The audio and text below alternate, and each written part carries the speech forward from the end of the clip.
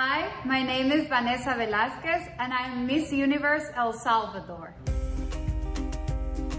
I'm a 25-year-old Salvadoran entrepreneur with a degree in marketing communications. I love connecting with people. I'm also a person of faith because of my family. Loving God translates to loving people and this made me begin my own foundation, Angel Hands. We believe in helping everyone equally and providing people with the right tools to help them overcome any kind of hard situations. What makes El Salvador so special is that we are so warm and welcoming. Our people are the best hosts. Whoever comes to our country will fall in love not only with the lake, the beach, to the volcano, but with its people. We are a very small country. However, we are great